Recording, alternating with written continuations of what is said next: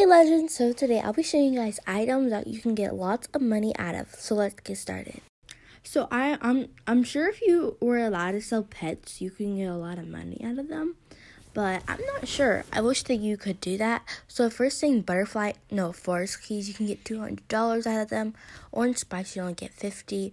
Um truffles for instance, you can get a lot of out of them. You can get now, with all the other common things, you only get like three dollars or something. So those are all the items and um, potions. So thank you guys for watching this very short video. Love you guys so much, and bye. I am so tired. Hey legend, so today you have to go to like th- th- th- that does not make any sense. Okay, bye guys. And if you want to shout out, all you have to do is comment Lun. And you could sell your pet for $5,000. Or can you? Who knows? We'll never know.